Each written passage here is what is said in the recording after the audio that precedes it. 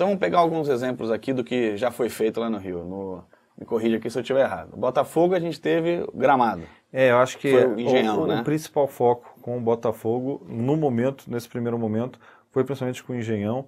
Então a gente acho que fez um trabalho mu- muito legal em parceria com o Botafogo para manutenção do gramado.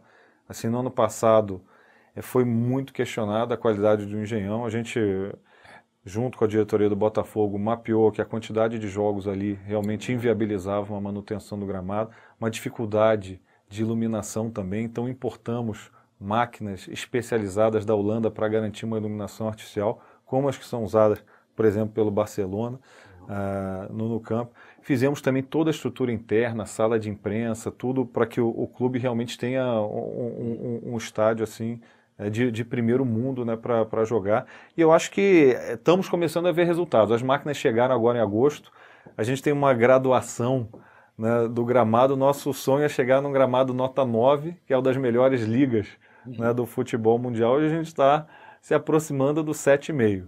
Né? Mas se a gente pegar lá atrás, a gente está evoluindo bastante.